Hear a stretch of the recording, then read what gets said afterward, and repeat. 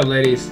So this is how we find the EQ and, and, this is basically how you EQ in FL Studio. So we're gonna use this like top pattern which is like that piano sound. Channel rack. Scroll this to an open uh, channel.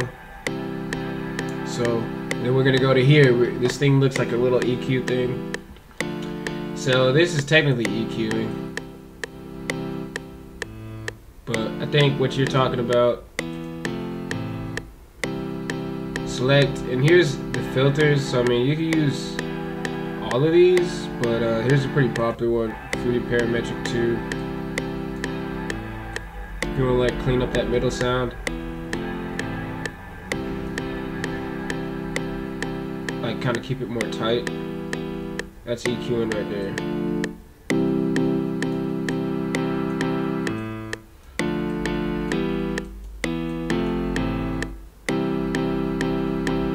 Maybe get a little bit louder. But then like casually turn down the volume too.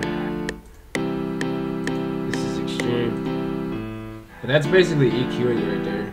Uh, it's playing around with stuff mostly. Like will get you the sound you want. It's not necessarily like something you should do to every sound, but typically I like to like if it's covering a lot of space and it's especially like if you're trying to add in more sounds, you kind of want to like lower this and you want to keep you want to leave this area available for higher notes. So like, let's, let's get like a higher pitched note.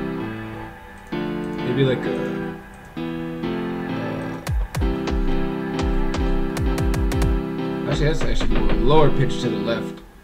But if you see, if you cut out the five, it kind of like makes the kicks and these instruments over here sound clear. The kick, hi hat, snare will be like in this kind of area right here.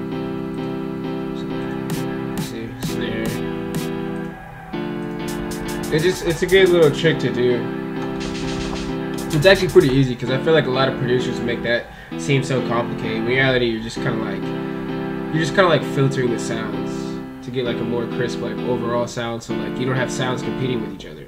That's basically EQing. EQing. Well, thanks thanks for watching, guys. This is like basic EQing. I'll do a more in-depth video in the future, but uh, that's what you get for now. This is one channel. Subscribe, vibe. Peace out.